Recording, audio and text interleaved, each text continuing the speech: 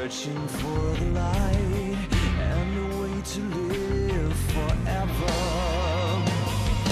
Your flaws make sure you never contemplate.